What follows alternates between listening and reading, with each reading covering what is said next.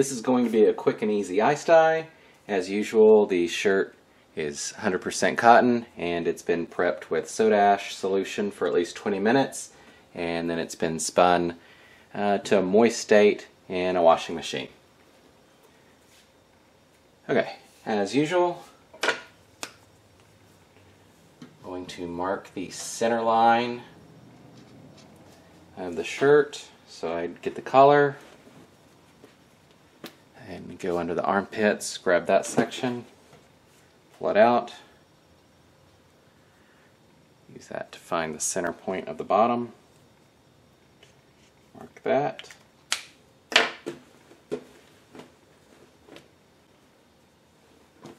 And I completely forgot to turn the shirt inside out to begin with. Okay, I can still see the marks, so it's good. I'll go ahead and go over the mark again.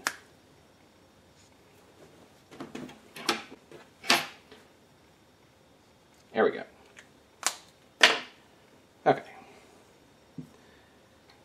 So we take those marks, that becomes the fold line. Grab the sleeves, pull the bottom sleeve through the top, line up the seams.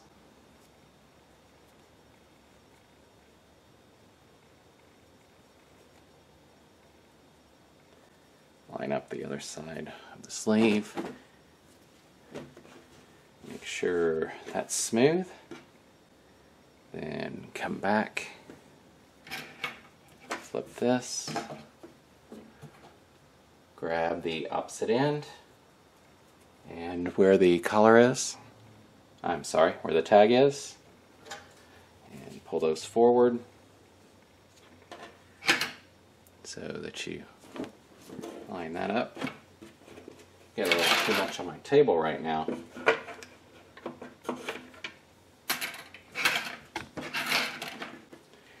Okay.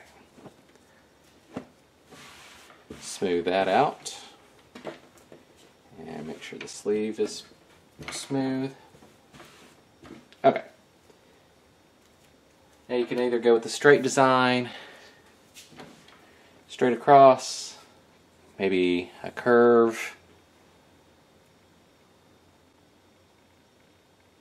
Just a diagonal, whatever you want to go with. Since it's folded in half, if you do anything that's like a diagonal, it'll actually become a peak. So I am going to do this. And I might want to pull that a little lower.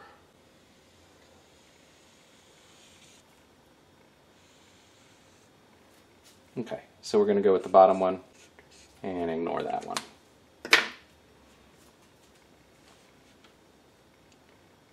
So I'm just going to start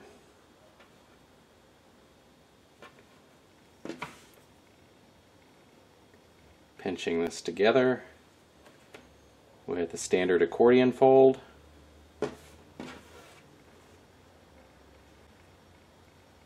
and these are about three quarters of an inch or so.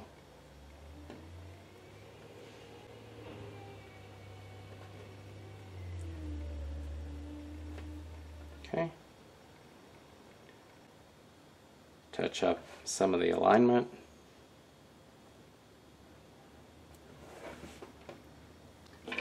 And then grab the sinew.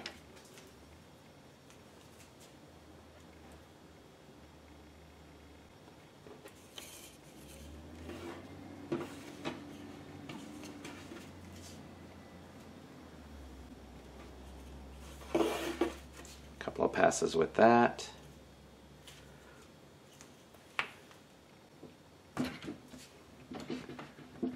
That slipped loose. That doesn't happen very often. Go ahead and go around third one. And then take a couple more.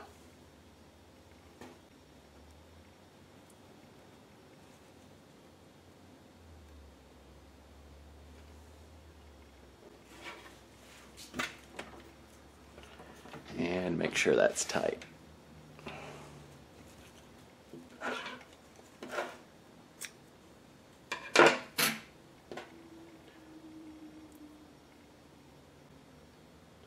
And then just kind of tie that together loosely. Okay. Now, each of the two halves are just going to be a crunch or a scrush. Scrush? Not sure what a scrush is.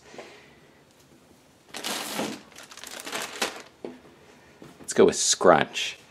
Scrunch this up.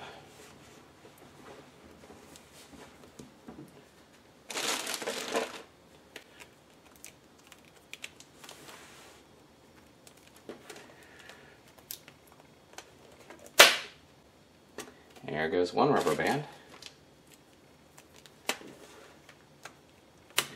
There goes a second rubber band.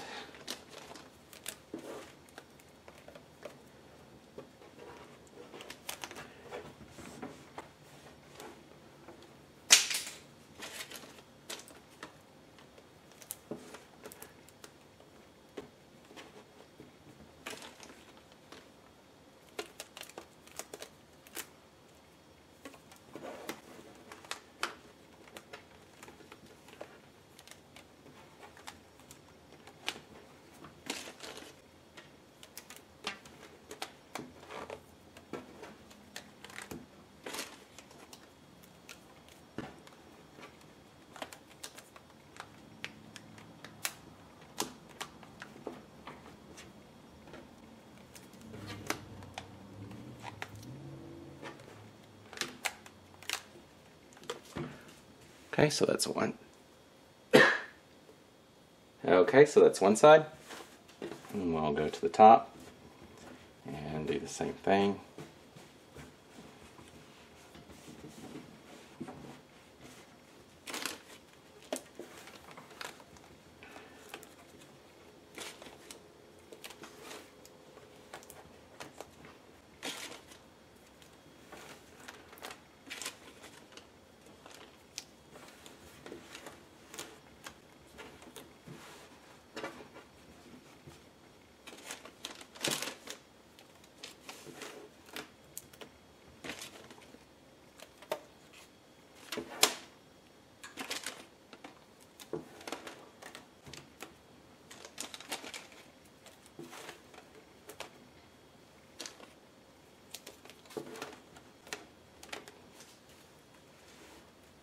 and off to dye it.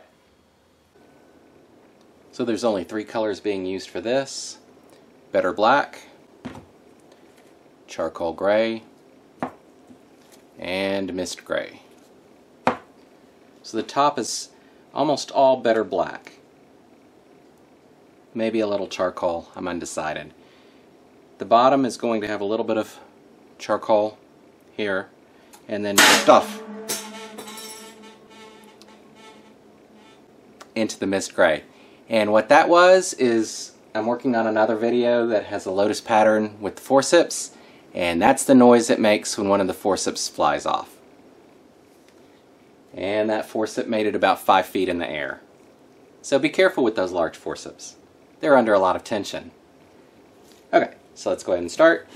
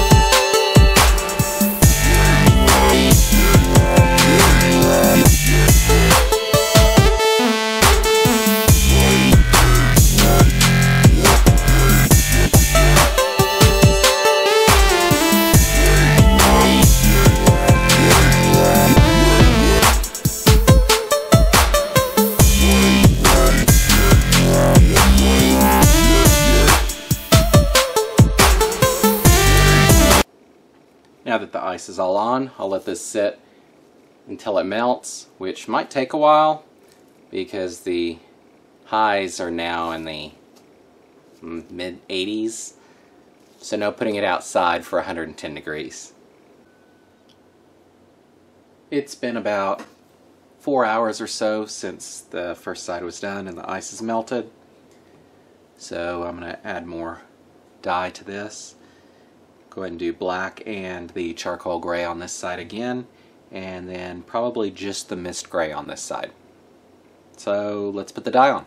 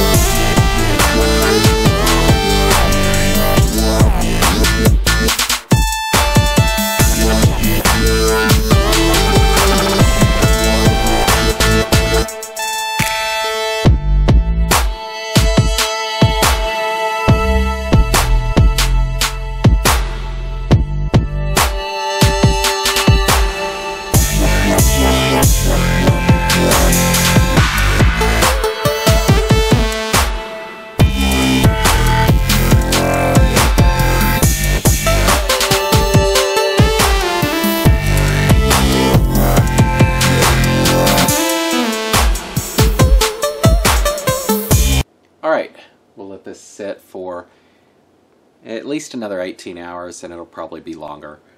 And then we'll do the washout. It's been two full days since this was dyed.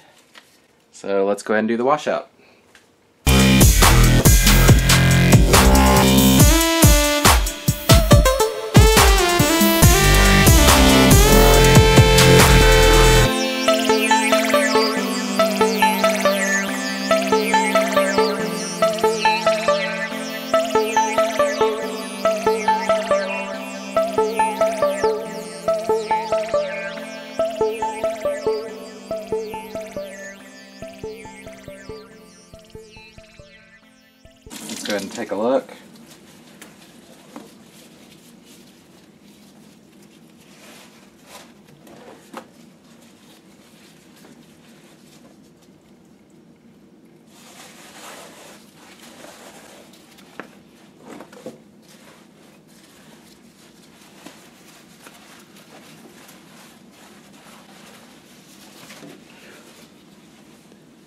So that's what it's like currently. All of this lower section should lighten up quite a bit when it's washed, but we'll see what happens. Sometimes it doesn't lighten up as much as I would hope for, but quite a bit of that should come out.